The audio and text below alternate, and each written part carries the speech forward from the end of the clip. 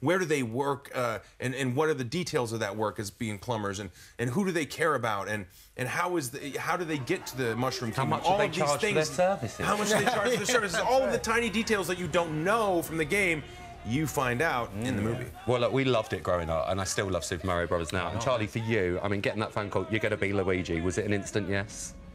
It was an instant yes, and then it was followed by, "Are you sure you called the right guy?"